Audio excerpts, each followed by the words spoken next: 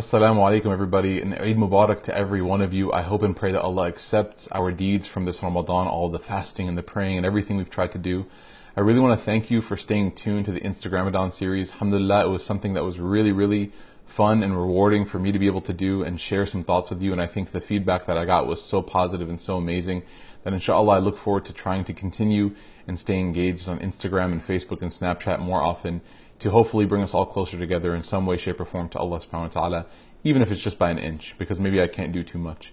But I hope and pray that all of you have a great day. Remember, the Prophet Muhammad said Eid is the celebration of the believers, that we should all together with everybody celebrate and have a good time. So make sure that you enjoy yourself, have fun with your family, and make this Eid an Eid to remember, inshallah. Assalamu alaikum.